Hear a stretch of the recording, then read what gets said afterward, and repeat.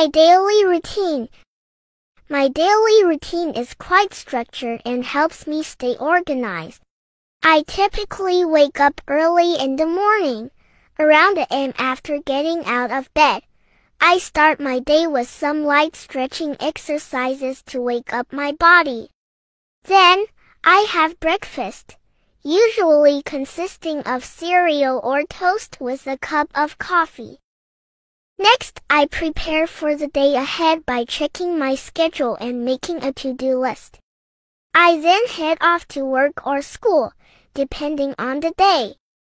Throughout the day, I attend classes or meetings, complete tasks, and take short breaks to recharge.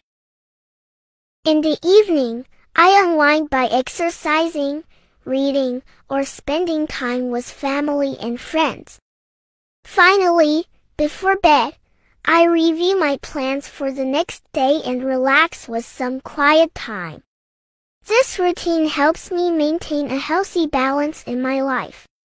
Like, comment, share, and follow. Subscribe my YouTube channel link in the TikTok bio. Thank you.